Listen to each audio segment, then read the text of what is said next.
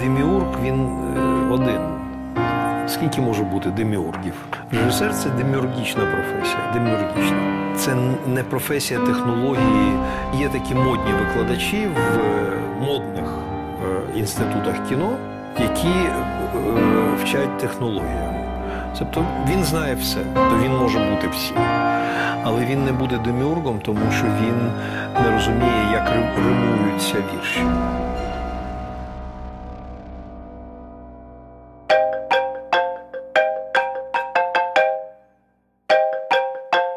Відчуваю, як складно говорити про той вплив, який він щинив на мене.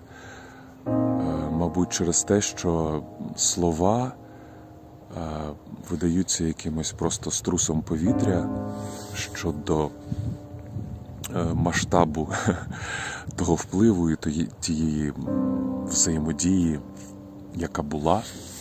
А ще, мабуть, через те, що надзвичайно багато людей із мистецького середовища можуть такі там дивовижні речі розказати про е, реалізації, про масштабні проекти. В театрі мені говорили весь час: ти хіба не бачиш? Це твій янгол-охоронець.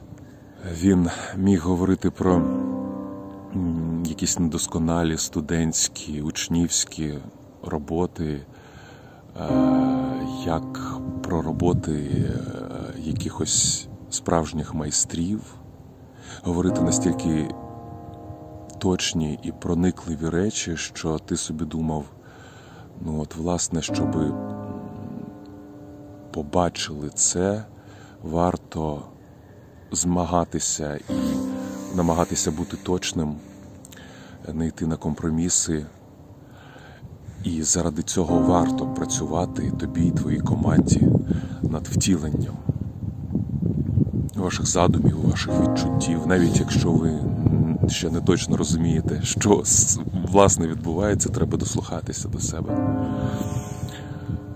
Мене завжди дивувало, як в його роботах як режисера е, знайомі мені артисти проявлялися зовсім неочікуваних сторін е, до того, що просто не міг повірити, що це та сама людина, з якою ти працював, от уже там 5-7 років. Мабуть, от зараз, коли вже багато минає часу, я тільки можу здогадуватись, як це траплялося.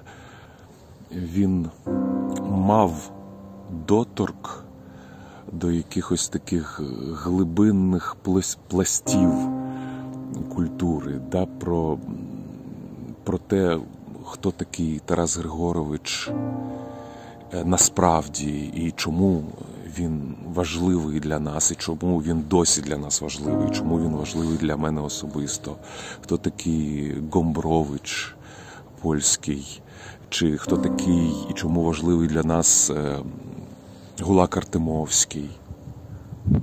Е, Чому важливі для нас корифеї з їхнім фантастичним досвідом Леся Українка. І це все не на рівні якомусь такому мозковому, якомусь там понятійному, а просто відчуттєвому. Не мов би ти побував там в тих епохах і спілкувався з тими людьми і бачив, що відбувалося. Тобто справляв враження такої машини часу і простору, яка переносила людей просто туди, і вони вже на сцені не мов би несли на собі цей відбиток правди. Для мене він, власне, і став стежкою до наших видатних діячів, щоб справді бути здатним розповісти іншим людям, чому ми маємо їх читати, чому ми маємо проголошувати їхні твори, чому ми маємо говорити про них і ставити їх досі. А, мабуть, найбільший урок, який я засвоїв, це про те, що треба бути дуже уважними до своїх вчителів і берегти їх.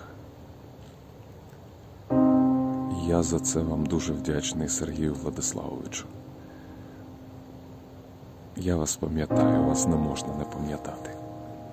А римувати за теорією Данила Лідера, мого одного з моїх найбільших вчителів, е, римувати можна все.